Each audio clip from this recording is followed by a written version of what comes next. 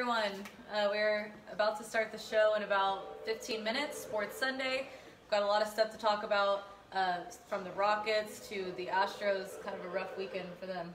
Yeah, I mean they can't. They can beat just about everybody else in the big leagues, but they've lost two series now to the Texas Rangers, one of the worst teams in baseball. I can't figure these guys out, but they play them well. I mean, when they play the Rangers, It's tough to they're win when your starting pitcher give up 10 runs today, 9 runs yesterday, Yeah. even though they almost won today.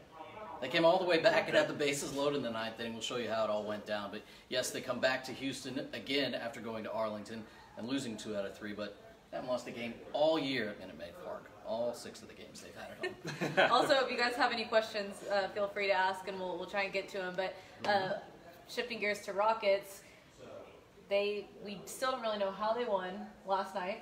Well, Harden went three for yeah. 20, but I think that just shows the caliber of this season's team that they can still win when Harden starts a game 0 for 15. And it makes me really excited for the next round already because I think this one's over. I think they're going to sweep personally. I don't know what you guys think. I think. I mean, if you're a Jazz, you've got to be kind of deflated. Yeah. I mean, you gave it the best effort you can.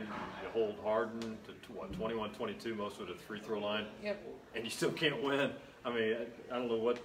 They're going to need a lot of motivation. They motivation. got to get their open shots. they played two games here in Houston, a game at home, and the friendly atmosphere for them was a horrible atmosphere for every visiting team. You know, uh, the Rockets, Austin Rivers, uh, among them, saying we could barely hear ourselves to communicate, and yet they still played uh, really good defense, even though they left the Jazz open all, really all series. And then again at the very end of the game, Donovan Mitchell had a wide open three pointer to tie the game with 10 seconds left, and they wouldn't have even had an opportunity to foul because he was that open and he missed also. That was the I story of the whole surprised. series. I think he of course he was surprised he was that open. I It wasn't mean, intentional that they He left turned him around open. it was a wide open shot. I think, and this sounds kind of very simple and stupid, but I think that it would take the Jazz to make all their open shots and the Rockets to have an off shooting night, everyone, for them to win. Because, I mean, think It's about good- the point differential that Yeah. there's been in each game, minus the game where Harden basically didn't do anything. Well, I, I put this out there yesterday. Yeah. The, they played 12 quarters now. The Rockets outscored the Jazz in the first five quarters by 52 points. Yeah.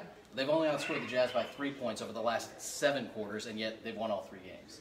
That's the kind of stuff that's Well- got to make you think: How are we supposed to beat these guys? We're in our own building. We, they came out, scored the first eight points of the game. They had the 11 to three lead, and James Harden had two fouls, Right. and he didn't foul out of the game. Chris Paul didn't foul out of the game. They had so many things going for them, but they just couldn't make their Yeah, shots. Gordon hit Um, shots. PJ Tucker. I mean, Austin just, Rivers. Somebody just Yeah, said somebody just said Austin Rivers is a beast, and that's that's something that we're going to talk about on Sports Sunday. And in my piece that I did was James Harden talking about all those guys, Austin Rivers, Kenneth Faried, even Danuel House, that have joined the team and have bought into what they're doing and just taken this team to that next level. And they think that's why they really have a shot this year to win it all. Well, Game Four is coming up tomorrow night. Another late game at 9:30 in Salt Lake City. So the Rockets will try to close this thing out and uh, then get a little bit of rest before round two.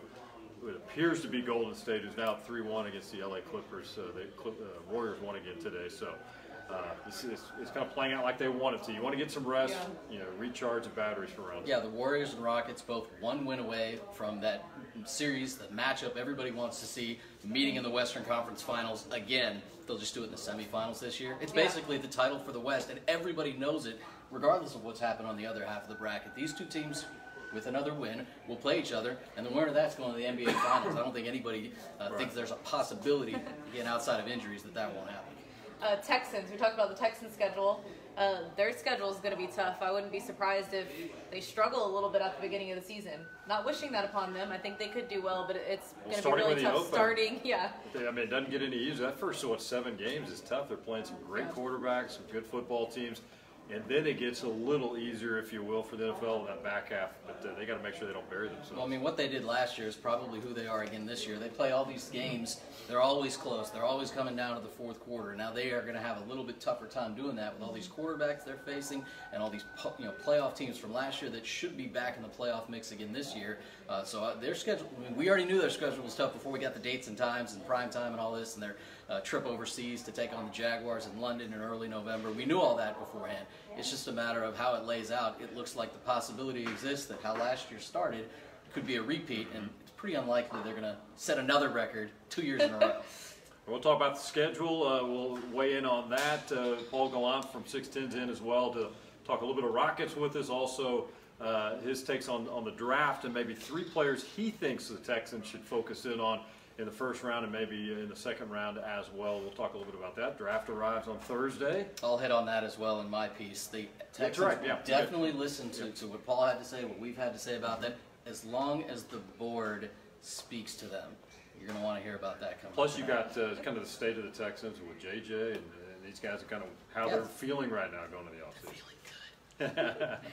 All right, I'm about to go on the air, so Yes. I've got to scoot. Well, we're all about to go on there, so we're gonna go get ready for the show. But we hope you guys join us in nine minutes and 55 seconds. So we'll see you guys then. Have a great night and happy Easter.